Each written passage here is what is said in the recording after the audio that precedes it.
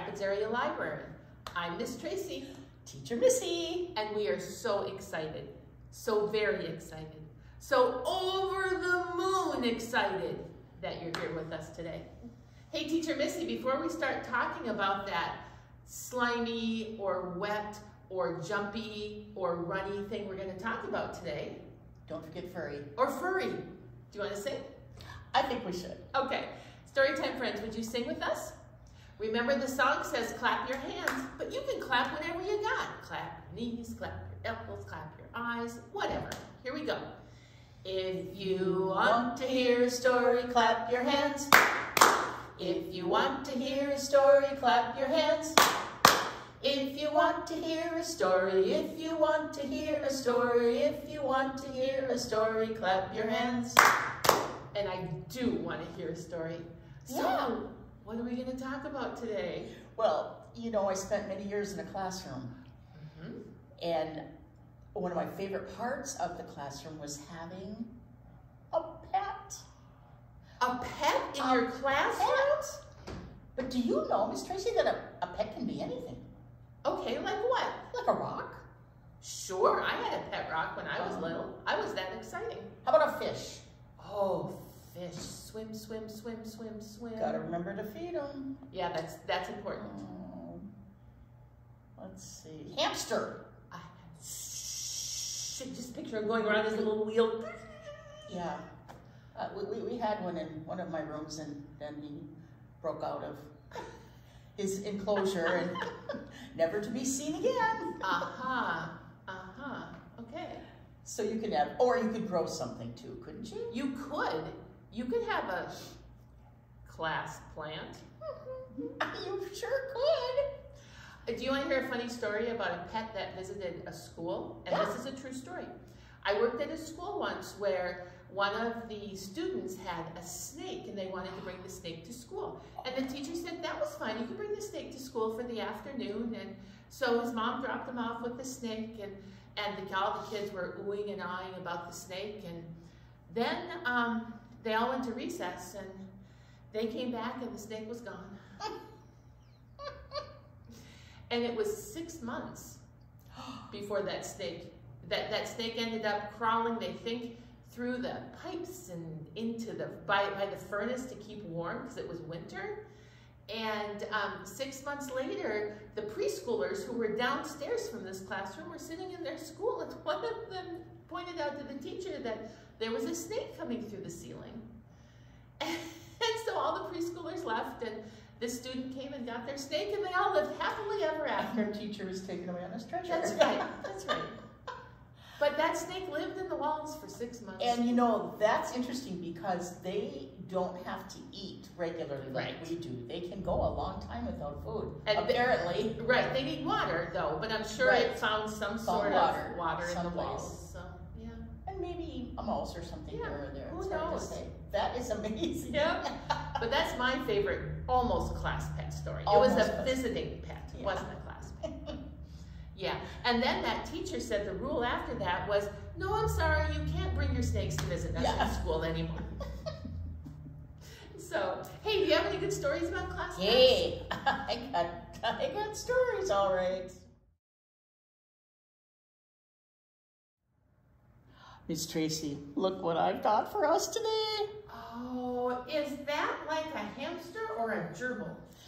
You know, I'm not exactly sure because they look quite a bit alike. They look very much like a mouse. Hmm, hamster gerbil. Maybe it's a mouse. Who knows? It's short-haired. I think it's probably a hamster. okay. I think gerbils tend to be a little furrier, don't they? Anybody know? I'm not sure. Sure cute though. Yeah. And he's got a kind of a funny name, IQ. IQ goes to the library.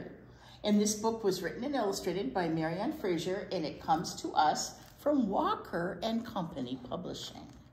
IQ goes, I wonder what he's going to do at the library, Miss Tracy. Could he be here with us?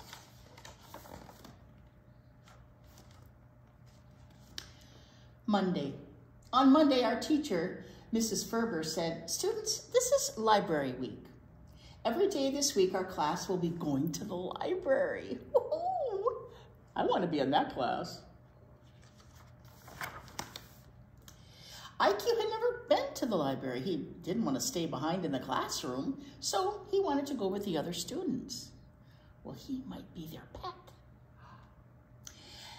Mrs. Binder, the librarian, welcomed the class. Today is reading corner day, she said. Come, come have a seat by the big chair and I will read a book to you. Well, this looks familiar, doesn't it? the story made IQ laugh until his eyes watered and his tail curled. He wanted to take that book back to the classroom with him. Mrs. Binder said the books had to be checked out for the class. If you complete a permission slip, I will give you a library card. Then you can check out a book. Oh, IQ wanted to check out that funny book. Mrs. Binder had just read it, but the book was already shelved. What does that mean, Miss Tracy? It's been it, shelved. A book that is shelved has been put back in its own special spot. Okay. The library was such a large place. IQ was glad he still had four days, too, to find the funny book. Hmm. Tuesday. On Tuesday, IQ came ready to explore the library. There were rows and rows of videos, CDs, DVDs, audio cassettes, magazines, puppets, and newspapers. And there were so many books. Some books had hardcovers and some had paper covers. Some were easy readers and others had long chapters and small print. There were books on shelves and books on racks that spun Look, he's going Whoa. for a little ride on the bookshelf.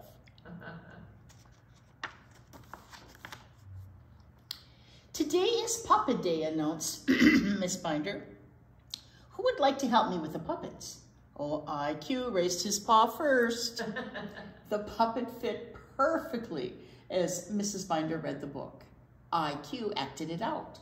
When the story was over, it was time to go back to the classroom. I counted, IQ counted on his paw. Only three days left to find the book. And look at his outfit.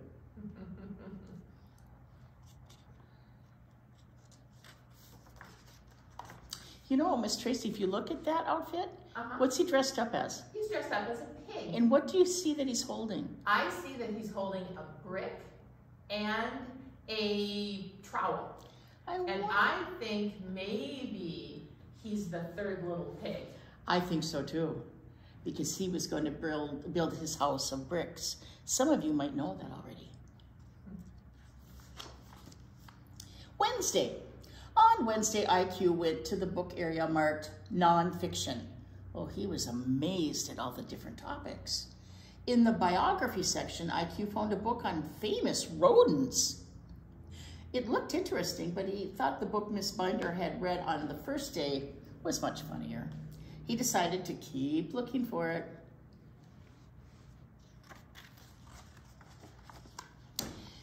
Could everyone come over to the audio table, asked Mrs. Binder.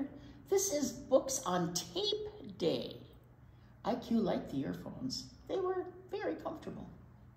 Soon the story was over and IQ realized it was time to go. He was getting worried. There were only two days left to find that funny book. Thursday. On Thursday, IQ discovered a section of books marked fiction. He realized the books, the books all had stories invented by the author. Some had drawings, some had photographs, and some had only words. IQ liked the picture book the best. They made him feel big.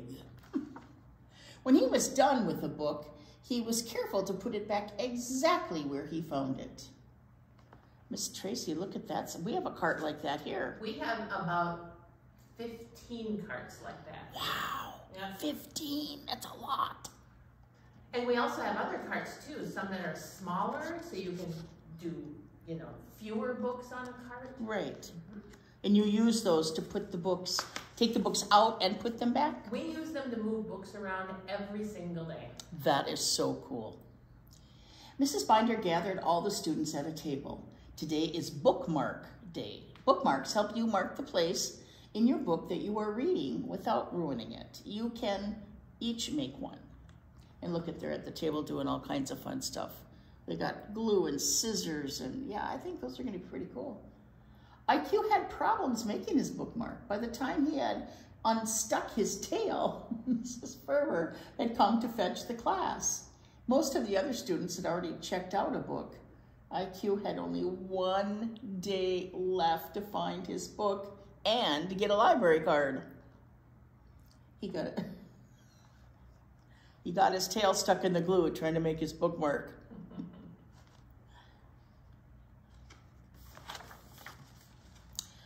On Friday, Friday, on Friday, when the class came to the library, Mrs. Binder said, today, today is computer day. It is our last day of the library week. Mrs. Binder showed the students how to use the computer to find a book. When she was done, IQ scrambled down to try. IQ pushed the mouse until it was where he wanted it. That's this kind of mouse. That's a different kind of mouse, That's isn't right. it? Then he jumped on the mouse and made it click. Then he danced on the keys to type in the title of the book he wanted. Finally, all the information he needed was on the screen. He wrote it down and he hurried over to the shelf. At last, IQ had found that funny book.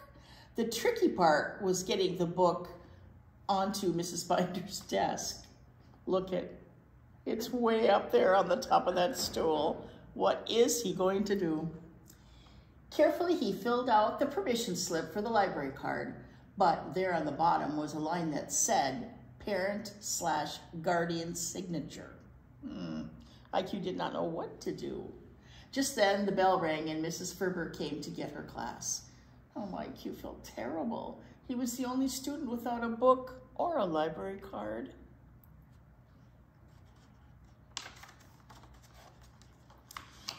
Excuse me, whoops, sorry.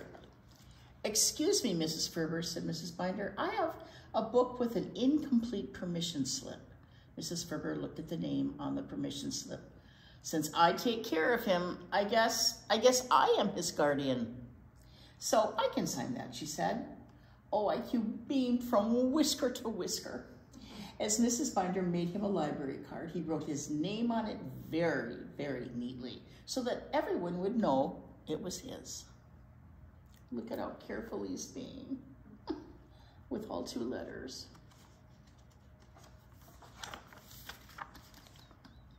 This picture. Look at him. He's carrying his book Oh, Look, Miss Tracy. Oh, that is so funny. IQ, you or something. Saturday. On Saturday, IQ was all alone in the classroom, but for once, he didn't mind. He read his book over and over, laughing and until his eyes watered and his tail curled. He was just laughing away. That must be a pretty good book. Sunday. On Sunday, he imagined all of the other things that he would check out with his new library card.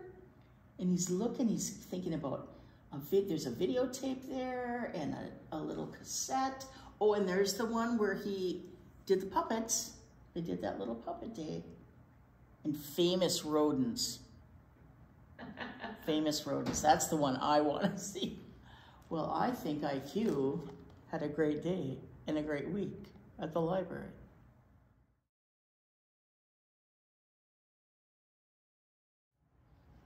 Hey, story time friends. Teacher Missy, Yes, ma'am. are you guys ready for flannel board. Oh yeah, it's flannel time. You ready? I am ready because I love to do flannel time with you. Are you ready? Okay, we have a tough job ahead of us because we have to pick the best class pet. And the song we're going to sing is called Looking for a Class Pet. Okay? And here we go. Oh, we're looking for the best class pet. Oh, we're looking for the best class pet. It shouldn't caw, shouldn't roar, or run across the floor. Oh, we're looking for the best class pet. Aiden thinks a frog will do. It will hop around between me and you. We'll have to take care so we don't step right there. Maybe a frog just won't do. Okay, maybe maybe not a frog because you might step on him. Okay, here we go. Marty thinks a giraffe we'd adore. It would be handy for some chores. It could reach the high shelves that we can't get ourselves. If only it would fit through the doors. That's not gonna work, is it, friends? No, not a giraffe. I know. Mamie thinks a pelican would be fine. It could use its beak to really shine. It could scoop up the books and return them to their nook, except they'd be covered in slime. Ugh. Maybe we don't want books out of a pelican's beak. Here we go. George says a chicken is their wish. It could eat all its food from a dish.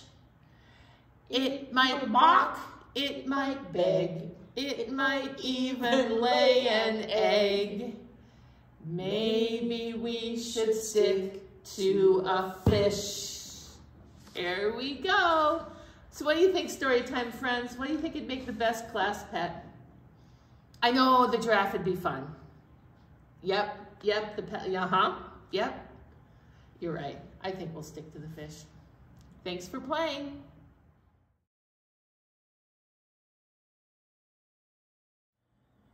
Hey, Miss Tracy, check this out.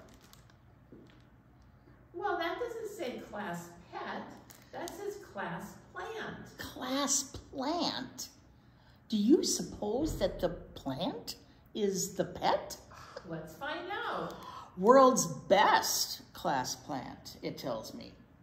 Um, written by Liz Garton Scanlon and Audrey Vernick. They did this book together. And it was illustrated by Lenore Bontiago. So lots of people worked hard on this book, 3 mm-hmm. people.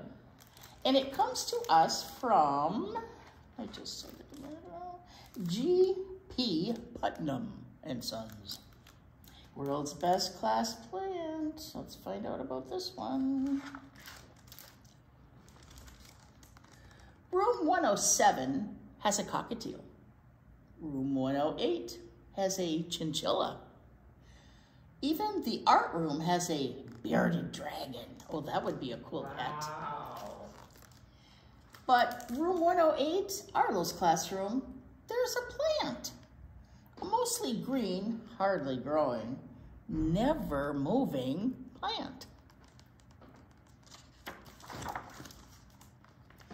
Instead of doing fun class pet stuff, shredding the newspaper bedding, filling the food bowl, cradling the creature carefully and passing it around for morning circle, Arlo's class took turns watering. but sometimes they forget because it doesn't squeak or, or whistle or whimper. It's just a plant.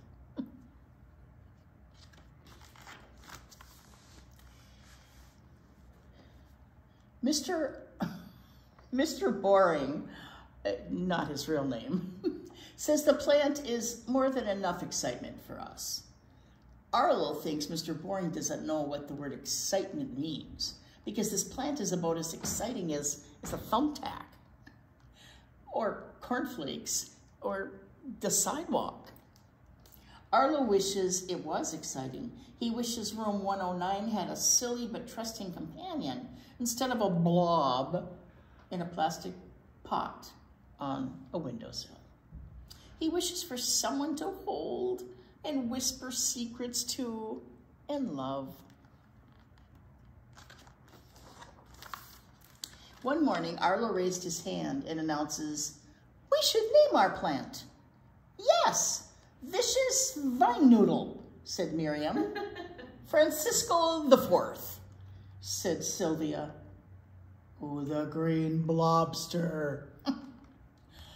Otis barely gets his suggestion out before Mr. Bummer, not, not his real name, says, what about Jerry?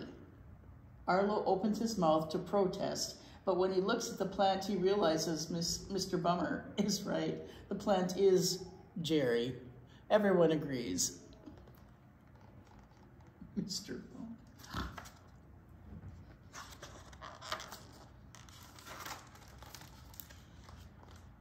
Something about naming the blob made it more exciting. All of room 109 rushed over to sing Jerry's praises and add jobs to the chore chart. Bring Jerry home for the weekend. Sweep up the dropped leaves.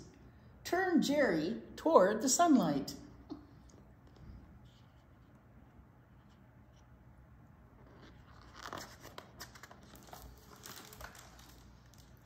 As the days passed, strange things happened. Greener and greener and twistier. In fact, Jerry gets so green and long and twisty that he outgrows his plastic pot.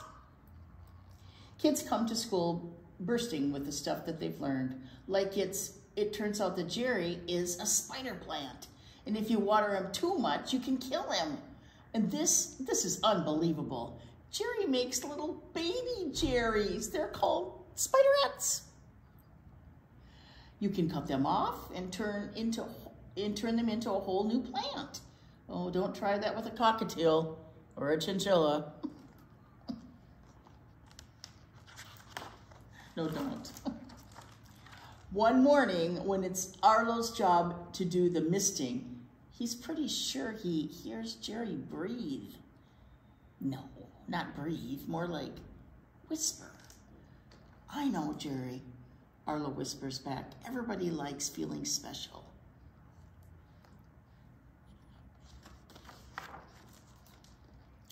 When room 109 asks if they can have a, a Jerry Appreciation Day, Mr. Patient, uh, not his real name, says yes.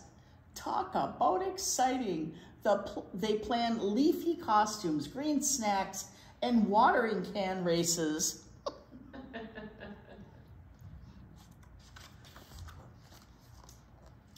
Word spreads, of course. The kids from 107 came to trade their cockatiel for Jerry. Oh, no way.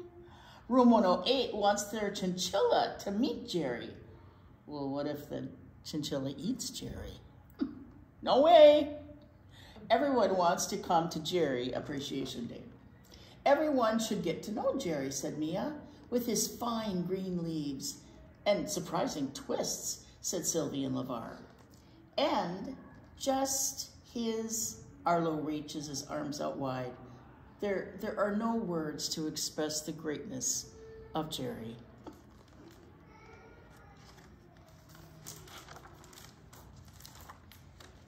So, Jerry Appreciation Day goes school-wide. Check this out. Miss Tracy, look at this. Wow. They've got practically a festival going for Jerry. For Jerry. Jerry deserves it, though. Jerry's amazing. Well, it's glorious and spectacular and joyous. But wow, the kids in room 109 are oh, whooped by the end. Jerry really is as much excitement as they can handle. They're relieved when everyone goes back to their classroom. They have Jerry, then they will have Jerry to themselves again. I think they're all kind of tired from all that festivity. For the rest of the year, the mist, they mist and fluff and turn and love their classmate. So when they say they missed him, what I wonder what that means. I think to mist is to spray him lightly with water. So you don't water them the same way, apparently, as other ones. And you can see them all taking turns misting and turning the plant and even hugging the plant. Teacher Missy, why would you have to turn a plant? Because they need a lot of sunlight. And if you're in a window where they don't get real direct sunlight, if you turn the plant, it'll move toward the sunlight. And they do need a lot of sunlight. That's one of their prerequisites. Although there are plants that don't need a lot of sunlight. Hmm. But apparently a spider plant isn't one of them. They must need lots of sun. Then, on the last day of school, when it was time to say goodbye to Jerry, Mr. Perfect, that should be his real name, you each get to bring home a baby Jerry of your own. Oh my gosh, how cool is that? And look at his teacher wrote on the board, have a great summer. Do you suppose he's excited that he gets to take that home?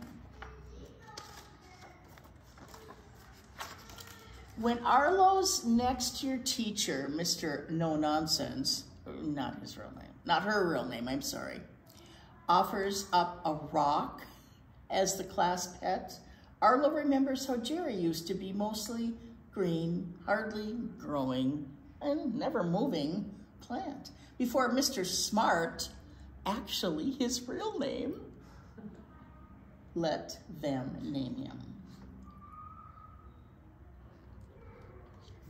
We talked about that a pet rock could be a possibility. So Arlo picks up the rock and he examines it closely. He turns it over and feels the weight of it in his hand. He really gets to know it before whispering quietly, Brenda, is that you? I love it. Brenda, is that you? so see, you can even have a rock for a pet. Named Brenda. Brenda.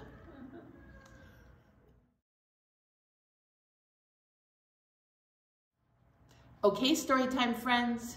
Teacher Missy. Yes, ma'am. Are you ready to wave a scarf? I am. okay.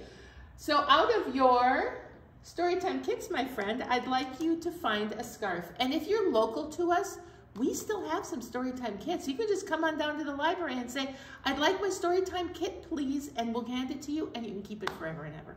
And in it, of course, you will find a scarf. Now, we're going to give teacher Missy her green scarf. Oh, and my I'm, favorite. Yeah, it is. And is. I am going to use my rep. Did you hear something? Did you, Missy? Did Yeah, you I did. I did hear, I hear a little something, but. I don't know what it is. Oh. Oh, of course. Teacher Missy, Who's is somebody here? Zebra would Oh. like to be our story time friend today. Hello, Teacher Missy. Good morning, zebra. Hello, Storytime friends. I am simply delighted to be in your presence. That means Zebra's happy to be with you. Zebra sometimes likes to use big words, and I like to hear big words I know. because then you learn something you never knew. Okay, so you have your scarf. Remember, if you don't have a scarf, you can wave a sock, you can wave a Kleenex, you can wave a paper towel, you can wave anything you have. Here we go. And we're going to do a warm up that we haven't done in a while called We Wave Our Scarves Together. We wave our scarves together. We wave our scarves together. We wave our scarves together because it's fun to do. Oh, wave them up high. Oh, wave them down low. Wave them in the middle because it's fun to do. We throw our scarves together. We throw our scarves together. We throw our scarves together because it's fun to do. Throw them up high. throw them down low. Throw them in the middle because it's fun to do. We, one more time, here we go. Spin our scarves together, we spin our scarves together, we spin our scarves together because it's fun to do. Spin them up high, spin them down low, spin them in the middle because it's fun to do. Oh, that was much fun. It was quite fun. All right, now we are going to do a song called Class Pets. And your scarf is going to do the actions of the class pets. And it starts out with the hamster. What do you suppose a hamster does? Yeah, they run around their wheel. Here we go. The hamster in the cage runs around their wheel, around their wheel, around their wheel. The hamster in the cage runs around their wheel all day long. Now, what do you supposed to frog does? The frog in the tank hops up and down, up and down, up and down. The frog in the tank hops up and down all day long. Now, what about if you had a snake? Can you make your scarf slither? Here we go. The snake in the crate slithers to and fro, to and fro, to and fro. The snake in the crate slithers to and fro all day long.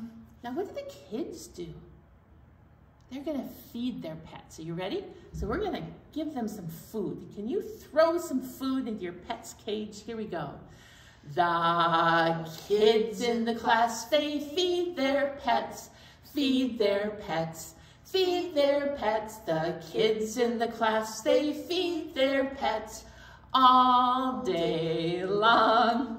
But maybe you shouldn't feed them all day long, okay? Might be getting kind of full. And what do we do at the end of the day?